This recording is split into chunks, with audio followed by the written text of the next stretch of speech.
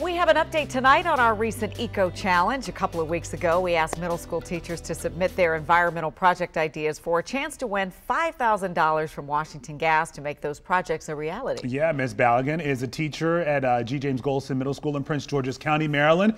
And uh, her class is one of our Eco Challenge winners. I caught up with them to see how the project's going and had a little surprise for them, too. Last time we saw you, you guys have been hard at work, huh? Yes, we're working on our water awareness campaign, trying to get our posters created so we could post them around the schools and around the community so we can make individuals aware of how much water they're using mm -hmm. and wasting at the same time.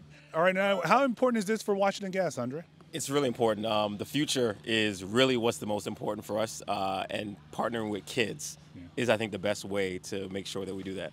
Okay. Well, of course, we all know that the environment matters, Ms. Balogun. So, on behalf of WUSA 9, Washington Gas, and the Smithsonian Science Education Center, we'd like to present you all with this wonderful plaque for your awesome. efforts as well. Thank you, guys. We appreciate it. you gotta keep it going. You're gonna you're gonna save the planet, right? They're getting it going. You, does it make you want to go back to middle school just yeah. a just a little bit just when you go visit? Bit, you know? It's so fun to visit these schools. They're great. They're great. They are great, and their project's going to be great too. Mm -hmm. Yeah.